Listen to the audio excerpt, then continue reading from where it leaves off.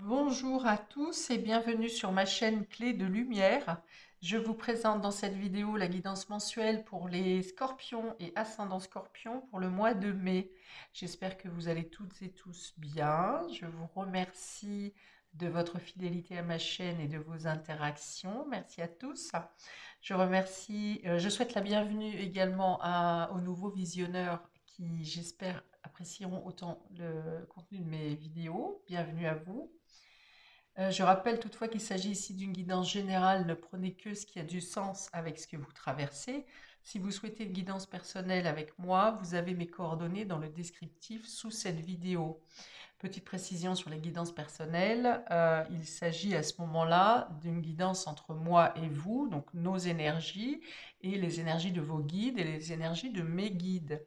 Donc les, les, précisions, les prédictions qui sont données, les prévisions, vous sont directement allouées et ne regardent que vous et correspondent bien sûr totalement à votre vécu et à ce que vous aurez à vivre. Voilà, parenthèse fermée. Nous allons regarder dans un premier temps votre état d'esprit général ou le fil conducteur vous concernant sur ce mois de mai, amis scorpion et ascendant scorpion. Nous avons le saut et les nécessités. Bon, alors là, il est clairement euh, question d'un contrat de travail, hein, d'un engagement, d'une signature, euh, d'une réussite professionnelle qui améliore votre, vos revenus peut-être. Euh, c'est de la lumière. Hein. On est dans la lumière, on est dans l'amélioration de votre quotidien, de vos finances, de votre pouvoir d'achat peut-être. En tout cas, il y a une, réussite, un accord euh, concernant euh, vos besoins essentiels au quotidien. Ça peut être un contrat bancaire qui vous est accordé également ici. Euh, voilà, c'est plutôt joyeux au niveau du quotidien. Euh, vous êtes dynamique, vous avez, vous rencontrez les personnes euh, qui peuvent vous aider à réussir dans vos démarches, dans votre, dans vos avancées. Il y a vraiment une bonne nouvelle hein, qui vient à vous, mais peut-être quelque chose qui se termine aussi. quelque chose qui a été long, si vous êtes avec en attente d'un leg, d'un héritage, quelque chose comme ça, ça se débloque. Euh, il y a de belles opportunités qui viennent à vous euh, dans, le, dans vos activités quotidiennes. Euh, ouais, c'est vraiment très... alors peut-être que vous arrivez à mieux cerner vos besoins essentiels aussi. Hein. Peut-être que vous étiez un peu indécis dans les décisions que vous deviez vous rendre. Vous, vous étiez peut-être dans pour certains, vous avez eu un... Euh, comment dire À racheter une faute peut-être. À racheter une, euh, une erreur que vous avez commise. Et là, vous êtes dans la, félicité. Hein, vous êtes fier de vous. Voilà, vous êtes fier de vous d'avoir réussi à racheter une, une, erreur, une bêtise, euh, une mauvaise action. Et on vous réintègre du coup. On, reconnaît que vous vous êtes donné la peine euh, des efforts que vous avez fournis. Ok, là ça parlera pas à tout le monde. Hein. Euh, cette situation qui vient à vous pour le mois de mai aussi vous permet de mettre fin à certains doutes, euh, des hésitations vous concernant, mais peut-être des hésitations concernant l'avancée d'un projet, des changements que vous souhaitiez mettre en place, vous, hésitiez. Et là, ce qui arrive à vous sur ce mois de mai vous permet d'être plus clair avec vous et plus clair dans euh, la voie vers laquelle vous allez vous diriger. Vous êtes plus centré aussi, plus centré, plus concentré, moins éparpillé. Euh, c'est-à-dire que si vous hésitiez entre plusieurs euh, situations, là vous allez focus, hein, vous allez focus sur une situation et vous allez vous y tenir. Ok. On va regarder comment ça se retrouve sur les différents domaines de votre vie, ami scorpion. Donc, contrat, signature, engagement favorable, hein, quand même ici. C'est la chose à retenir. Donc, pour le domaine relationnel, pour vous, ami scorpion, donc relationnel, sentimental, affectif, familial, tout ce qui vous touche au niveau du cœur. On a la transformation, le renouveau, un beau papillon, on a l'hiver et on a l'homme. D'accord, d'accord, d'accord. Bon, il y a une situation qui était figée un peu, hein, plutôt glacée, plutôt, euh, froide, là, euh, dans, dans un domaine relationnel. Euh, alors, cet homme peut dire qu'il s'agit, que c'est avec un homme, ou bien on va vous demander ici de réagir avec plus de maturité, de ne pas faire l'enfant, d'avoir compris quelque chose. Hein. vous voyez, je vous ai dit qu'il y avait peut-être eu une mauvaise action que vous avez faite, ou bien ou bien que vous avez été mal jugé aussi, c'est possible. Hein. Donc voilà, il y a une évolution, une transformation. Euh, on sort d'un silence, on reprend la communication, on sort d'une situation qui était euh, figée euh, dans la glace ici, et il y a l'idée de, faire bouger les choses, de tomber sur un commun accord peut-être, de d'avoir, de tomber sur des compromis. Il y a quelque chose qui se met, qui donne un vent de renouveau ici. Hein, pour ça, on peut dire qu'il faut, casser la glace. Hein, on casse la glace. Et peut-être que vous vous sentez plus courageux, plus courageuse à aller euh, vous exprimer auprès d'une personne qui est totalement euh, rigide, et qui était complètement figée. Hein. Et là, vous arrivez toutefois, en dépassant votre courage, vous arrivez à détendre l'atmosphère avec cette personne ou en tout cas à lui faire entendre raison sur votre situation. Alors ça peut être une personne capricorne, verso ou poisson, c'est possible. Euh, mais il y a l'idée ici que vous fassiez preuve de courage, euh, de maturité pour euh, dépasser vos craintes peut-être, pour remettre de l'animation dans une relation qui était froide, glaciale. Ok. Donc il y a des capacités ici. Grâce à vos actions ou grâce aux actions d'un homme, parce que si cette carte ne représente pas un homme, elle représente le yang. Le yang, c'est l'action. C'est d'avancer, c'est d'avoir le courage, c'est de... Euh, le yang, c'est le feu aussi, hein. donc le feu est la capacité de, faire fondre la glace ici. Donc euh, voilà, vous êtes dans un esprit de renouveau, de changer de comportement euh, pour être plus mature, euh, peut-être plus de, mettre ce visage de, glace aussi, hein, vous, hein, d'être, comment de vous transmuter dans la peau du personnage qui est trop autoritaire et trop dur en face de vous, et eh bien peut-être que vous-même, vous mettez ce masque pour euh, pouvoir être en capacité de confronter à cette personne. Ça veut dire quoi? Ça veut dire que vous aussi, vous faites abstraction de sentiments, vous faites abstraction de, euh, de légitimité ou de, de ce qui s'est passé, et vous vous exprimez de manière froide avec, euh, face à cette personne qui manque de souplesse. Et du coup, ça peut venir fragiliser sa glace à lui. Hein? C'est-à-dire de se mettre à, la même, euh, au même niveau que la personne, dans le même, euh, la même, euh, même comportement que la personne en face de vous. Et du coup, ça peut surprendre et vous permettre d'être entendu, d'être reconnu par votre courage, par votre...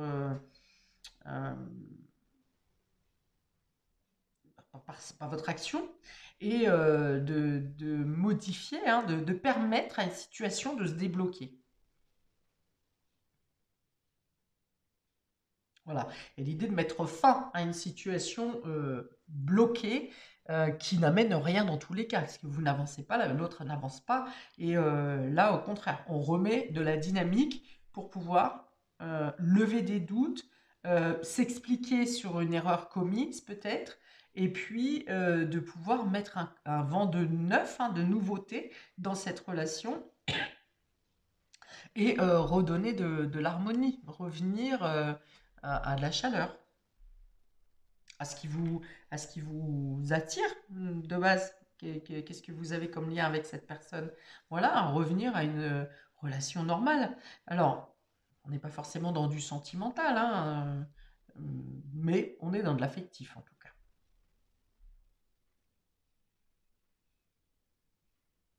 Bon, on reste dans l'idée de, pouvoir obtenir un accord, un compromis, euh, la chaleur qui revient avec euh, euh, une meilleure ambiance. hein. Alors le conseil, c'est peut-être ça, de vous mettre dans le même comportement que la personne en face de vous. Peut-être que vous avez à lui montrer à, lui et à cette personne, vous avez à lui montrer qu'elle est dans l'erreur en se braquant, en s'isolant, en- en étant différente d'habitude, hein, et puis que vous avez envie de, bousculer cette personne. C'est possible. Qui pourrait être une figure d'autorité d'ailleurs, hein, ou, parentale. Ok, on va regarder pour le domaine euh, matériel et concret. Amis scorpions, nous avons les arbres ici. Encore la signature, bravo à vous. Et alors la déception qui est tombée inversée. Ok, ici vous avez une réussite sur un, domaine où vous pensiez avoir échoué. Vous, êtes surpris de cette réussite. hein. Bien que vous donniez de vos efforts et que vous agissez au quotidien pour euh, euh, obtenir euh, une bonne position, la réussite de vos projets, ici, vous êtes surpris. Vous êtes surpris. Ou bien euh, l'accord qui vous est donné, euh, vous êtes un peu sur l'expectative, un peu hésitant parce que vous aviez d'autres propositions et qu'une autre vous plaisait plus. Avec les arbres ici, euh, j'ai plutôt deux propositions avec deux zones euh, complètement éloignées, deux cas de figure qui sont éloignés. Vous avez un accord qui vous est donné, mais vous êtes un peu déçu. Donc, vous aurez à vous questionner. Alors, je pense que vous n'aurez pas forcément à donner votre réponse sur le mois de mai, euh, que vous aurez à vous interroger là-dessus. Dans tous les cas, les deux propositions sont, sont bonnes pour vous. hein. Là, c'est tout ce que je peux dire pour l'instant. Les deux propositions sont bonnes pour vous. euh, vous, vous aurez besoin de la réflexion. Il y a un effort. Ok. Il y a un effort sur, euh, réussites, sur une réussite, en fait. hein, voilà. Il y a, il y a un effort à faire, un effort de concentration. Ça peut être une problématique. Parce que la nécessité représente la carte du travail quotidien aussi de la maison 6. C'est aussi les obligations et les devoirs. Et euh, du coup, euh, votre cœur balance. hein. Il y a une autre proposition qui vous intéresserait mieux. Mais là, euh, par devoir, peut-être que vous étiez déjà engagé un petit peu oralement euh, et euh, vous hésitez à revenir sur votre position en fait. Vous voulez pas décevoir. Ok. Euh, ouais. Alors, ça va vous demander un petit peu de réflexion ici. Je pense que vous n'aurez pas la réponse le- sur ce mois de mai. Euh, vous aurez besoin de voir, euh, vous aurez besoin de vous renseigner, vous aurez besoin de, vous avez peur d'être dans le, vous êtes dans le doute, vous avez peur d'être dans l'erreur, et si je choisis ça et que finalement j'aurais mieux réussi, bon alors ça vous le saurez jamais, hein, si vous aurez mieux réussi euh, sur une proposition que pour une autre, vous ne saurez que sur le choix que vous aurez pris. Voilà, mais il y a un cas de conscience quand même ici pour choisir. Pour autant, c'est bon, hein, tout est bon pour vous et euh, tout est favorable pour vous. Donc, signature, ça peut être entretien de travail, euh, signature de travail, ça peut être un accord financier, ça peut être, dans ce cas, si c'est pour un accord financier, c'est que vous hésitez maintenant euh, à ce que vous allez faire avec cet argent. Vous avez peut-être une autre proposition qui vous est venue entre-temps. Pour hum, Qu'est-ce qu'on peut avoir? Le travail, les finances,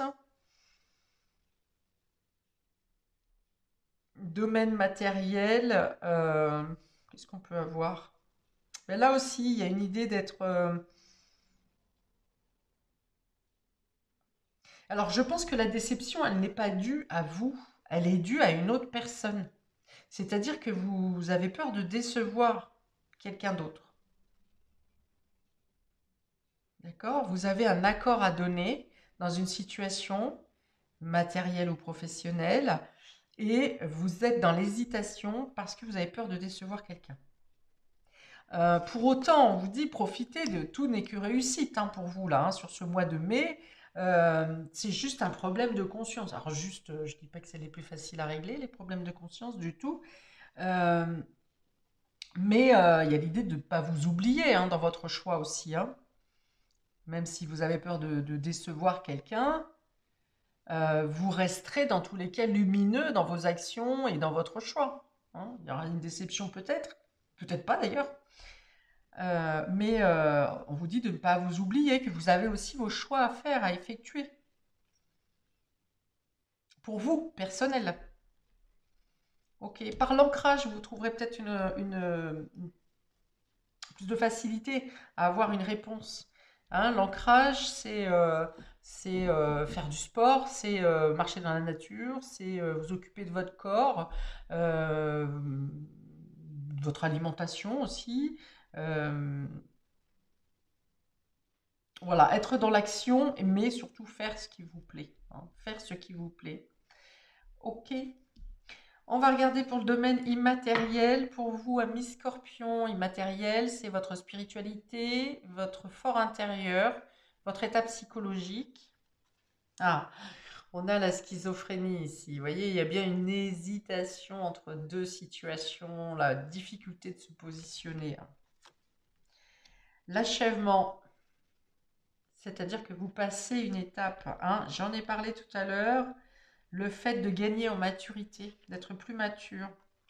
Et le mât, ici, c'est euh, le fait de se lancer de se lancer avec plus de maturité. Euh, alors, maturité, oui et non, parce que le mât, c'est aussi, euh, il a un peu l'état d'esprit de l'adolescent insouciant qui s'en va avec son baluchon sans savoir où il va et ce qui va se présenter devant lui. Hmm. Alors, c'est assez rigolo parce qu'on parle de maturité, on parle d'accepter de passer à une étape supérieure de boucler un cycle. Donc, on arrive sur un palier supérieur et on a euh, cette euh, carte du fou qui vous dit de vous lancer, ou vous avez envie, hein, intérieurement, c'est plutôt ça, euh, inconsciemment, vous avez envie de vous lancer dans du nouveau, dans, du renouveau, dans l'inconnu. Vous avez envie de commencer une nouvelle aventure. Et cette carte de l'achèvement va vous y inviter aussi, puisque vous couronnez, vous terminez quelque chose euh, dans le couronnement, avec des félicitations, avec une reconnaissance. Euh, vous achevez quelque chose, c'est la carte du monde ici, et vous avez envie de vous lancer vraiment dans l'aventure, dans l'inconnu, voire pour certains euh, changer de pays, hein, en tout cas aller au loin, de vous laisser emmener au loin. Et malgré tout, avec cette carte de la schizophrénie, il y a une dualité. Alors une dualité de passer de l'enfant à l'adulte, euh, de, l'insouciance au sérieux, euh, une envie de partir et en même temps une envie, pas une envie de tout quitter quand même, euh, de partir mais sans perdre ses attaches. Ok. Et vous êtes quand même amené sur ce mois à, être, euh, à transformer les choses, hein, à faire évoluer les choses et à passer à, une autre étape. C'est vraiment ça. Ici, on a euh, l'hiver, la signature, l'achèvement. Oui, on vous dit que vous avez un peu de temps quand même pour donner votre consentement pour ce changement euh, qui se présente à vous. On vous dit de ne pas rester euh, face à, une personne qui est euh, trop... Euh, de ne pas vous écraser, on va dire, face à une personne qui est trop autoritaire. On vous dit vraiment d'agir en, en, votre état de conscience, de ne pas céder ou de ne pas faiblir sur trop d'autorité en face de vous. Il y a l'idée de même de... comment ça vous fait ni, chaud ni froid, quoi. Hein voilà. Euh, pour d'autres, c'est une situation qui, qui était bloquée, quelque chose que vous avez mis de côté peut-être pendant un certain temps, et euh, qui se représente à vous, et qui... Euh, et aujourd'hui, sur, ce mois de mai, ça vous paraît la bonne période pour, pour faire avancer une situation qui était figée. Ou des, solutions se présentent à vous, des accords ou des collaborations se présentent à vous pour vous aider à dégeler, euh, à repartir sur un projet qui avait été mis un peu au rebut, qui était en attente, et euh, un projet de voyage hein, peut-être, c'est possible, de partir en, à plusieurs pour un voyage.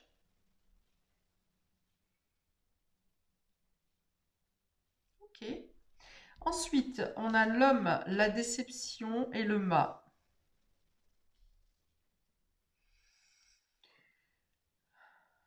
Ok. Euh, ici, il y a l'idée de quelqu'un qui peut être en désaccord avec votre, situ avec votre point de vue, avec votre objectif, et qui fait euh, comme si euh, assez, assez raide, hein, assez rude, et qui vous dit bah, fais comme tu veux finalement. Tu veux pas m'écouter, ben fais ce que tu as envie. mais alors donc la réponse peut être assez sèche, assez frappante, mais au final, cette personne est fière de vous quand même. Elle garde la fierté euh, vous concernant. Euh, ouais, c'est ça, hein, c'est cette personne-là que vous avez peur de décevoir. Ok, parce que vous prenez un nouvel élan, euh, vous avez peut-être changé votre point de vue, vous avez changé vos objectifs d'avenir peut-être, et, et euh, vous avez une décision à prendre et ça ne plaît pas à quelqu'un. Ça ne plaît pas à quelqu'un qui peut même venir euh, vous titiller en vous disant mais tu es complètement immature justement, ça tiendra pas à la route. Hein. Alors que vous avez toutes les chances que ça fonctionne, que ce soit un choix comme un autre, vous avez toutes les chances que ça fonctionne. Hein. Ok.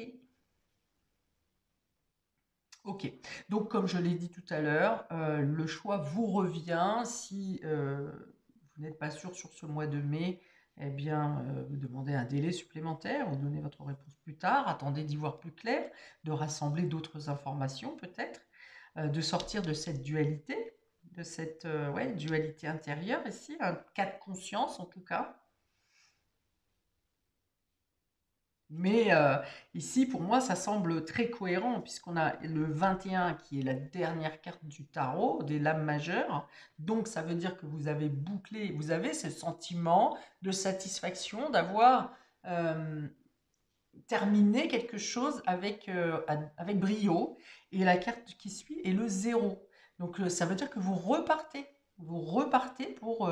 vous êtes prêt à continuer l'étape d'après. Hein, donc c'est très cohérent. C'est très cohérent. Alors moi je pense que cette dualité qui est en vous, euh, c'est plutôt pour vous dire de ne pas prendre une, décision précipitée justement. Parce que là vous passez d'une étape à l'autre, hop, euh, c'est-à-dire que vous ne prenez pas le temps de vous poser, de, de profiter de cette réussite et hop, vous avez déjà chevauché euh, l'autre euh, euh, cheval. Peut-être qu'il vous faut un peu plus de temps, hein, de délai, c'est ce qu'on me dit depuis tout à l'heure, pour être au clair avec vous, pour mieux vous justifier un choix plutôt qu'un autre, ne, pour ne plus être dans la dualité. Voyez, ne pas précipiter pour justement prendre une décision parce qu'elle s'impose, et non pas parce que vous voulez rester, vous voulez passer tout de suite à autre chose. Voilà pour vous, amis scorpions, pour ce mois de mai. Euh, bon, ça a l'air euh, très enthousiasmant en tout cas, avec de belles réussites. Donc, euh, je vous souhaite un très bon mois de mai, de belles décisions, de belles réussites. Je vous conseille peut-être de regarder votre signe ascendant qui peut vous donner des précisions supplémentaires sur ce qui vous arrive sur ce mois de mai. Donc, je vous souhaite plein de belles choses et je vous dis à bientôt pour de prochaines vidéos. Ciao